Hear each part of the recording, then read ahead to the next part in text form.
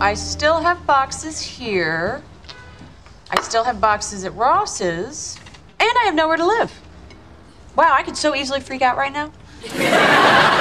What about me? I just found out Denise is leaving town for a while. I don't have a roommate. Well, maybe maybe I could be your roommate, Phoebes. Maybe you could be my roommate.